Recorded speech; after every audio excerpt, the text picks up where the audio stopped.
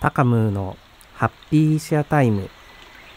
このチャンネルは寝る前や朝起きた時など隙間時間に聞くことでほっこりしたり元気になれるような短編物語をお送りします。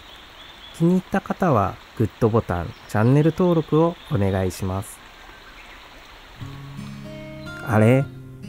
何怒ってるの？え？だって怖い顔してるよ。あー、そうなんだ。なんか怒った顔も可愛いね。まあ人間だもん。思うようにいかないことなんかたくさんあるよ。気にしない、気にしない。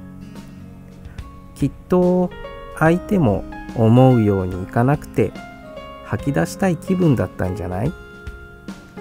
それより次の休みの日どこ行く？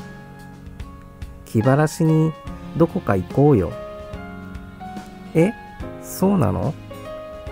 なになにそこそんなに美味しいの？オッケー。じゃあ次の休みはそこで美味しいものお腹いっぱい食べよ。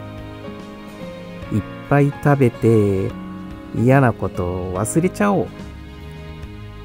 怒った顔も可愛いけどさ、やっぱりワクワクしてる時の君のその笑顔が世界一可愛いよ。笑顔って見てるだけでほっこりするよね。君の笑顔が見られるならいくらでも連れて行っちゃうよ。今日も君に出会えてありがとう。